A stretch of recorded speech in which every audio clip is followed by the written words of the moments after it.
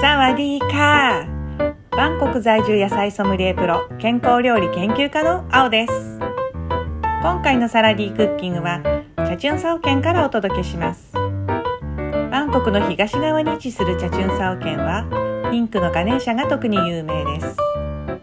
パワースポットとして訪れる人も多くバンコクからは1時間ちょっとで行けるのですがあえて宿泊してみました。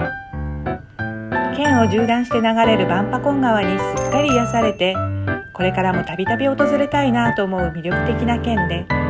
お隣なのに知らずにいたのがもったいなかったと思うほどです。今回はチャチュンサオレポートの前編として初日に訪れた場所と2日目に行った生鮮市場の様子をご紹介します。スマホでの撮影がまだ未熟で恐縮ですが旅行気分を味わったり行ってみたいと思ってもらえると嬉しいです。この先はナレーションはなしにしてテロップや字幕で紹介していきますのでどうぞ最後までお付き合いください。